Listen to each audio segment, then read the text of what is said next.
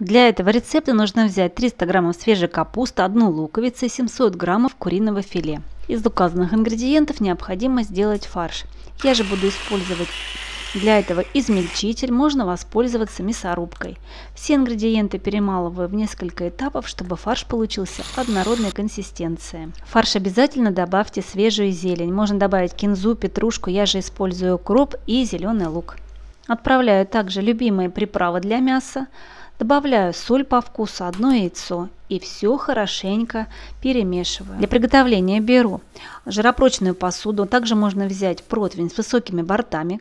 Посуду нужно смазать растительным маслом. Также растительным маслом смазываю руку и с помощью ложки формирую котлеты. Котлетки выкладываем близко друг к другу, потому что во время готовки они станут немного меньше. На каждую котлетку еще кладу по дольке помидора. Делаю соус из 2 столовых ложек сметаны, 4 столовых ложек домашнего кетчупа, который нужно залить небольшим количеством воды.